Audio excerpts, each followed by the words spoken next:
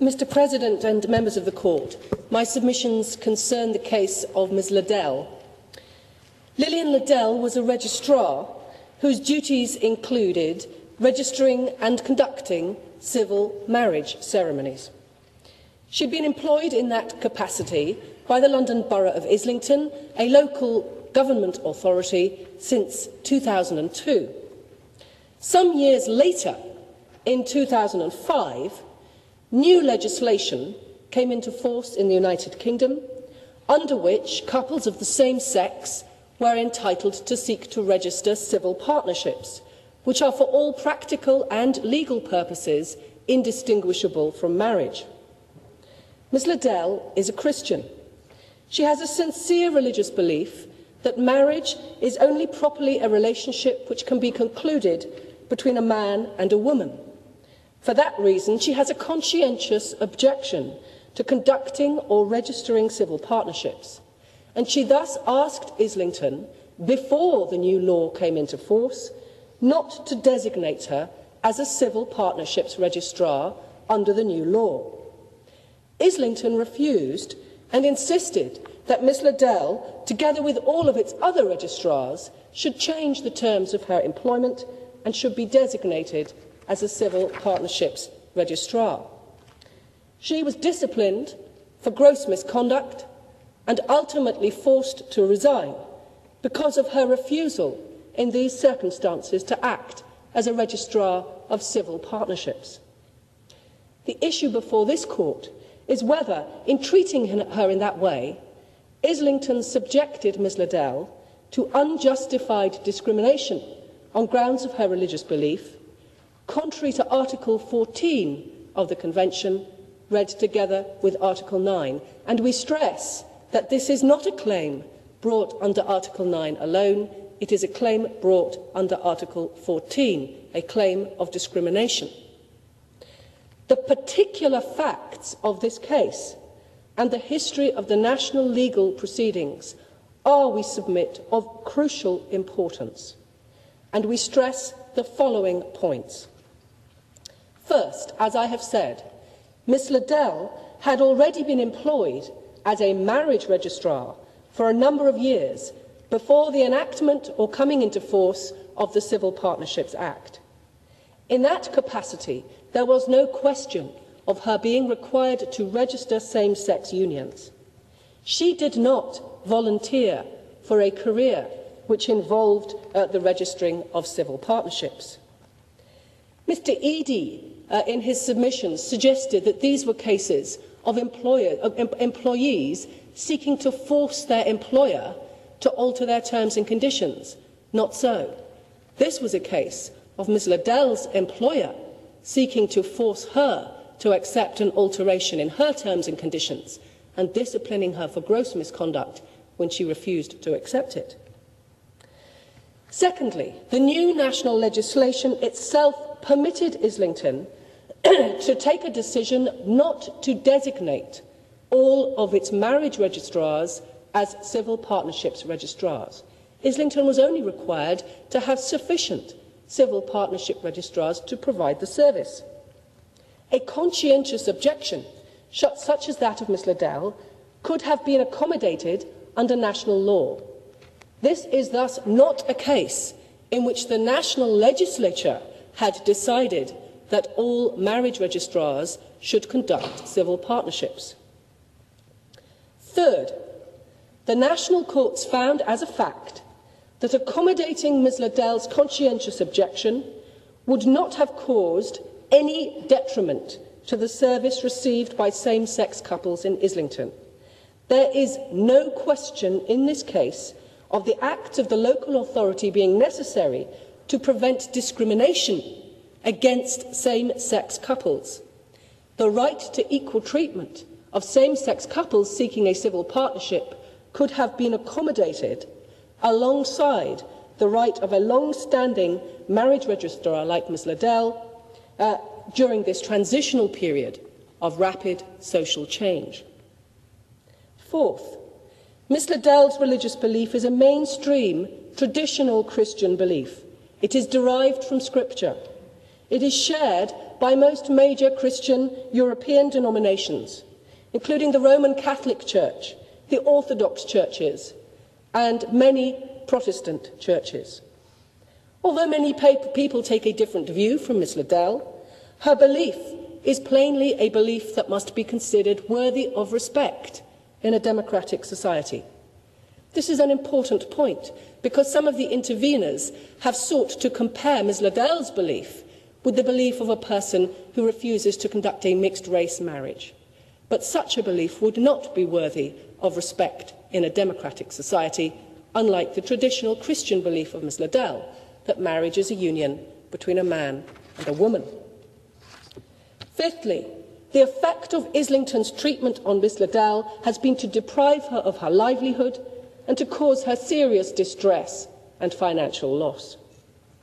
Sixthly, no proper analysis of Islington's purported justification for its treatment of Miss Ladele has ever been conducted by the national courts. The aims pursued have been repeatedly reformulated and were put in a different way again by Mr Eadie today. No proportionality analysis has been conducted.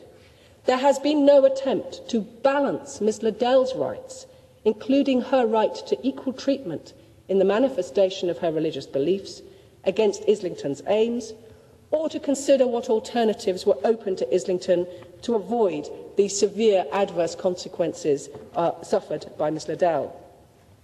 No weight at all has been given by the Court of Appeal to Ms Ladele's fundamental right, undoubtedly engaged by this treatment. On a proper analysis, any of the aims now put forward by the United Kingdom could have been met without requiring Ms. Ladele to be designated as a civil partnerships registrar. Indeed, the achievement of the local authority's asserted aim of demonstrating its commitment to equality of opportunity is in fact defeated by its treatment of Ms. Ladele, because what the local authority has done by its doctrinaire approach is to discriminate against Ms Ladele and subject her to a detriment because of her religious belief, contrary to the values of diversity and equality which Islington purported to be upholding. In these circumstances, the following questions arise under Article 14. First, does Ms Ladele's claim fall within the ambit of Article 9 so that Article 14 is engaged? Secondly, was she treated to her detriment in the same way as those who did not have a religious conscientious objection to the, the performance of civil partnerships, even though her circumstances were materially different from those of such employees? And thirdly, has her treatment been shown to be justified as a proportionate means of meeting a legitimate aim? We submit that there is no doubt that Ms Ladele's case engages uh, Article 9 and falls within its ambit. Although she does not need to go so far because this is an Article 14 case, on the facts of this case, her refusal to conduct or register civil partnerships was indeed the manifestation of a religious belief, just as this court has held that a refusal to undertake military service on the part of a Jehovah's Witness is the manifestation of a religious belief. Contrary to the submissions of the United Kingdom, there is no need for Ms Ladele to show a prima facie breach of Article 9 in order for Article 14 to be engaged. The United Kingdom's submissions on this point are contrary to the established case law of this court, going back at least 30 years to the case of Abdulaziz and the United Kingdom. We note that Mr Eadie has not sought today to grapple at all uh, with this point. There is also no doubt that Miss Ladele was treated by Islington in the same way as other employees who had no conscientious objection, and that she suffered a disadvantage arising from being treated in that way. As this court has recognised in the case of Thlimmenos in Greece, treating a person in the same way as another whose circumstances are materially different is a form of discrimination which will be contrary to Article 14 unless objectively justified. To put the matter in a different way, the apparently neutral requirement applied by Islington that all of its registrars should be civil partnerships registrars placed Ms Ladele as a committed Christian under a particular disadvantage and such treatment is discriminatory unless justified. Finally, no justification for Ms Ladele's treatment has been demonstrated. No clear or coherent legitimate aim has been identified. It has not been shown that the treatment of Ms Ladele was proportionate, and in the absence of any proper proportionality analysis conducted by national courts, it is not appropriate for a broad margin of appreciation to be afforded to the United Kingdom. I'm sorry, just give me one moment.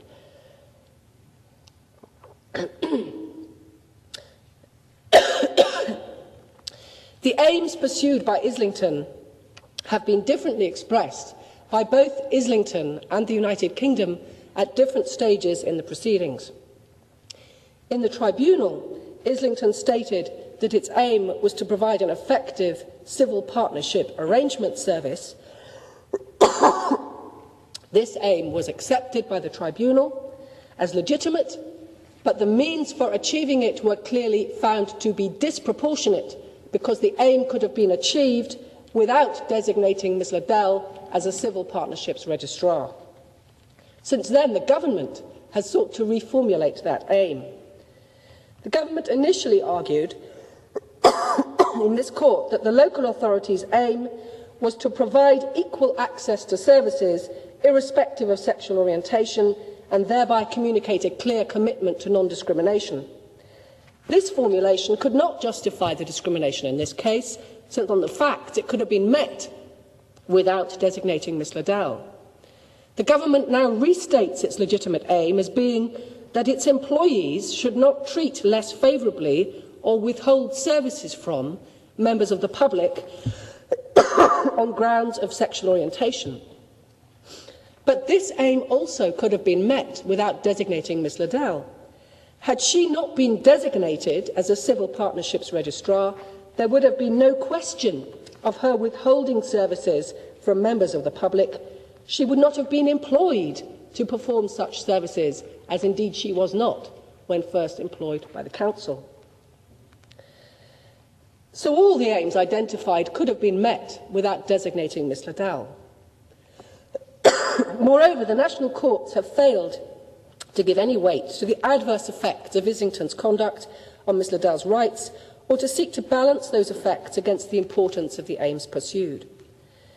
The Court of Appeal gave no consideration to the fact that the means adopted by Islington were contrary to its own policy, its equal opportunities policy, which expressly included a prohibition on religious discrimination and afforded it equal weight with discrimination on grounds of sexual orientation. That policy stated Islington would actively remove discriminatory barriers that can prevent people from obtaining employment opportunities to which they are entitled. This is not a case in which a broad margin of appreciation should be afforded.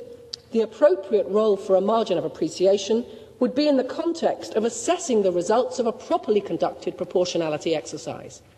Where no such exercise has been conducted by the National Court, it is not appropriate to give the Member State such a margin. Moreover, uh, we adopt the submission of Mr Dingemans that religious rights are a fundamental part of the Convention.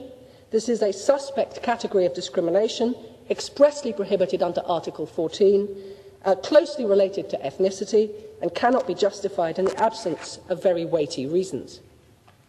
The national authorities have failed to appreciate there were two rights to equal treatment engaged in this case, which required balanced consideration.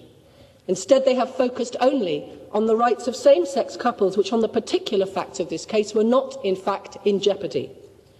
We submit that the celebration, toleration and accommodation of diversity, to which importance is rightly attached, as being central to the achievement of equality of opportunity has wrongly been disregarded by the local authority, the Court of Appeal and the United Kingdom in this case.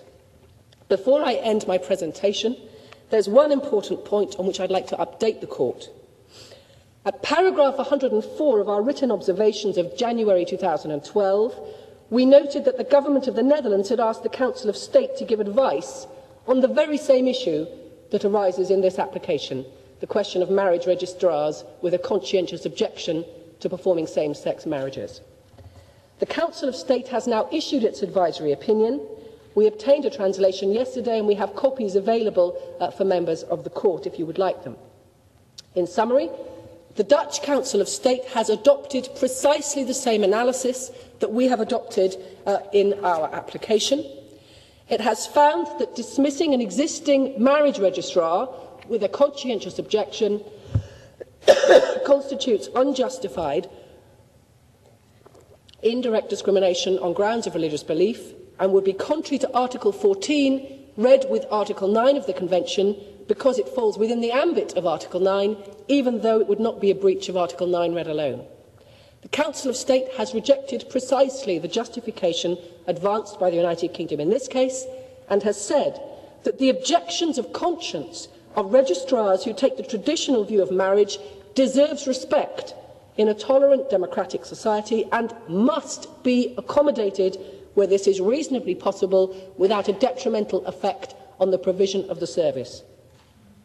The importance of this principle of reasonable accommodation, which has now been endorsed by the Dutch Council of State, reflects the observation of Justice Sachs in the South African Constitutional Court in the case of Fourie.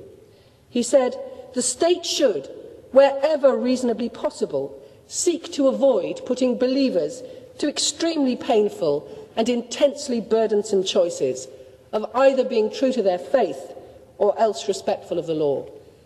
For all of these reasons, we invite the court to find that there has been a violation of Ms Ladele's right to equal treatment under Article 14 of the Convention and to award her the just satisfaction which she seeks. Thank you very much.